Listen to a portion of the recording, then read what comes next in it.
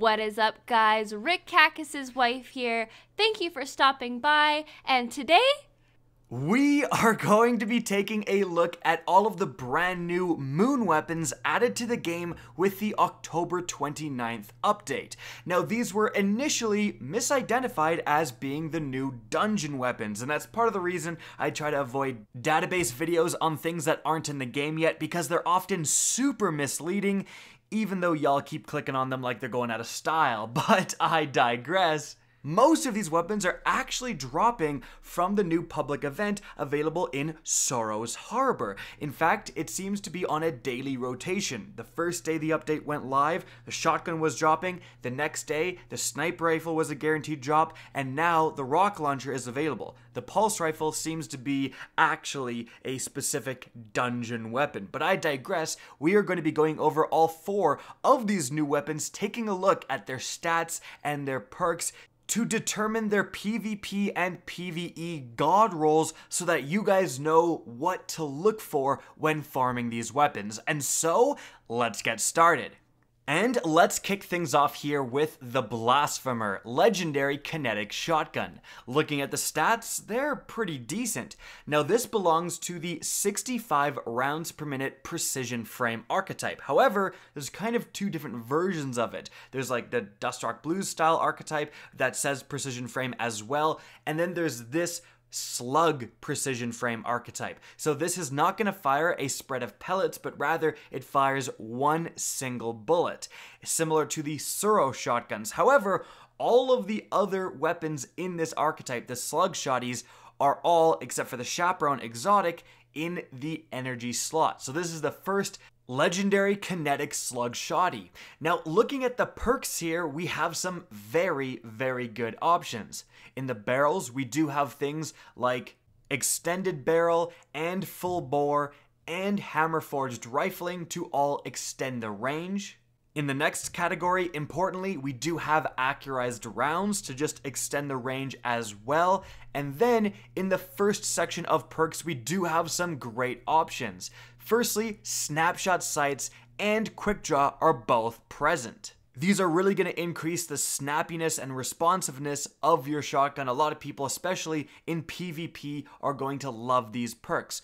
Also, Outlaw actually goes pretty well with this archetype of shotty, but mainly I think you're looking for quick draw. Quick draw on a shotgun in PvP is phenomenal. In PvE, you may actually want to switch that to Outlaw.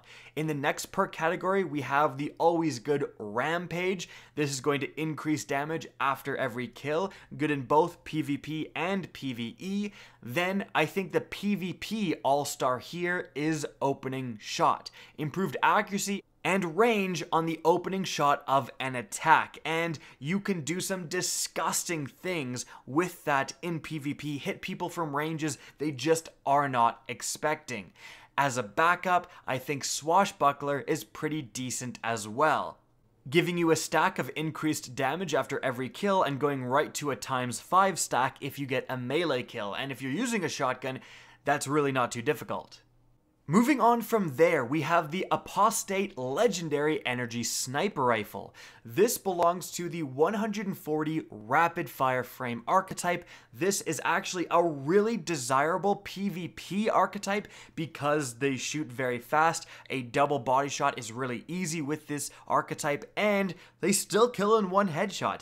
And actually, in PvE, they're becoming a lot more desirable as well because it turns out when you're comparing damages, a rapid fire frame sniper with triple tap is going to out damage a lot of other things in the game. But frankly, its stats are pretty average for its archetype. Moving on from there, we have its perks. Now, in terms of barrels and the first attachments, not necessarily too important, except for the fact that if you are going for a PvE god roll, you're going to need something like Tactical Mag or Extended Mag. You need to increase that magazine size. As for PvP, you kind of want more range, but I digress. Moving on to the first perk option here the best option here is going to be moving target, increased movement speed and target acquisition while moving while aiming down sights. That, if you're strafe walking with a sniper rifle, can be very, very powerful. aside from that, there's just kind of okay options. Outlaw is, again, okay. Rangefinder is okay, improving the range, but that's really it. It's moving target or kind of nothing. The second perk category, however, is a lot different. We have both snapshot sights and quick draw present here. Those are both unbelievably good for snipe rifles. They are the two most desirable perks on any snipe rifle for PvP. Unfortunately, they're in the same slot. So you can only get one or the other, and you can't get both at the same time. If you could, this would be like one of the best guns in the game, but you can't. Then something potentially to consider multi-kill clip for a PvE potential roll using this more like a battle rifle and taking out, you know, lower level enemies and then ramping up its damage could be something to consider. And because this doesn't have Fourth Time's the Charm or triple tap, you're actually looking for rapid hit if you want to combine extended mag plus rapid hit for insane reload as like a boss DPS rapid fire sniper. But even then, that's kind of throwing together a half decent roll. I think overall, if you can get this weapon with snapshot or quick draw with moving target, that's the god roll. Now, moving on from there, we have the Heretic Legendary Rocket Launcher. Looking at the stats here, this belongs to actually a pretty unique archetype. Its velocity and blast radius are kind of in the same archetype as the Bad Omens Gambit rocket launcher, and those are really not too common. So its claim to fame is very, very high velocity. So this thing is going to shoot and then hit its target, you know, in a PvP environment, that's to be pretty useful.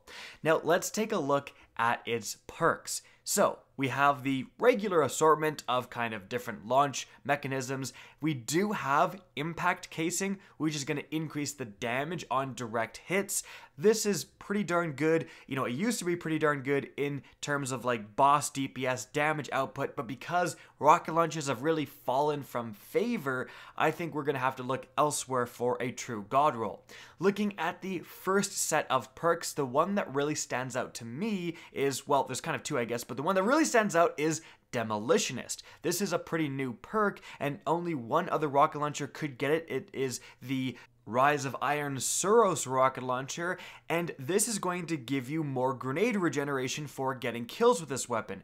Now, rangefinder is actually decent as well because it's going to increase the projectile velocity on rocket launchers. So if you really want a full velocity roll, you need to go for rangefinder. But in the second perk category, we have some great options as well. Cluster Bomb is present, and actually, this means that this rocket launcher is the only one in the game that can get the combo of Cluster Bomb and Demolitionist at the same time. And that's really important in my opinion. I think that is actually the god roll because Demolitionist is a pretty good, I think, underrated perk. Having a rocket launcher like this and increasing the blast radius by whatever way possible, then combining cluster bomb for even more damage output and the more chance of getting kills, and then demolitionist means that you can shoot one shot into a group of enemies and basically completely get your grenade back. And in PvE, that's going to be pretty darn good.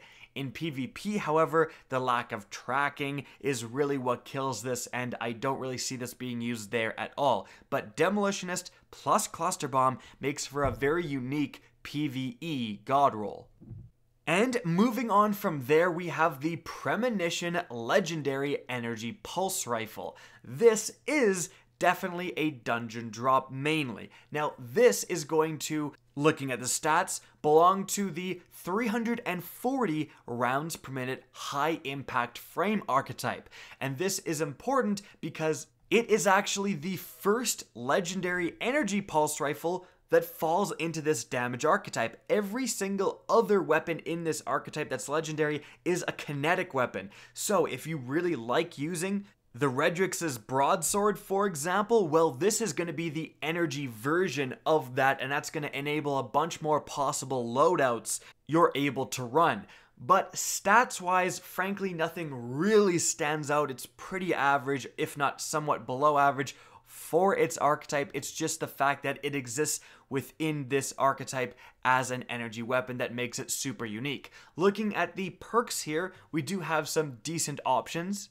First off, both high caliber rounds and ricochet rounds are present. In the first category, we do have rangefinder, which is going to be decent, and outlaw as well. Which is definitely not going to be bad, especially with a more precise weapon like a pulse rifle, especially when you combine that with some of the perks in the second category, mainly kill clip. The fact that you can get kill clip for a damage bonus after a kill and reloading. Combine that with outlaw giving you much faster reloads for getting a headshot kill.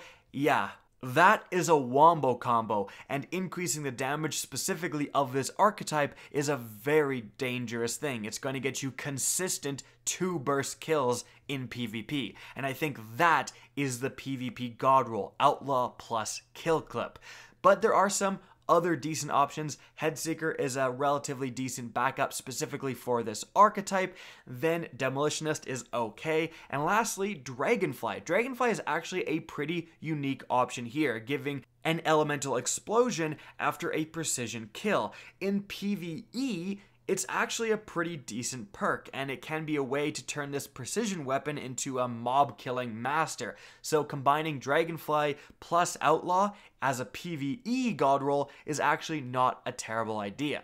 In any event, guys, that is it for the video. I hope you enjoyed, found this informative, and if you did, please remember to help me out by simply rating and especially sharing this video. If you guys want to see more Destiny 2 content similar to this, don't be afraid to slap that subscribe button. If you guys want to get in touch with me and keep up to date with the latest channel activity, the best way is to follow me on Twitter at RickKackis. That's linked in the description down below. Again, I hope you enjoyed the video, and as always, have a good day.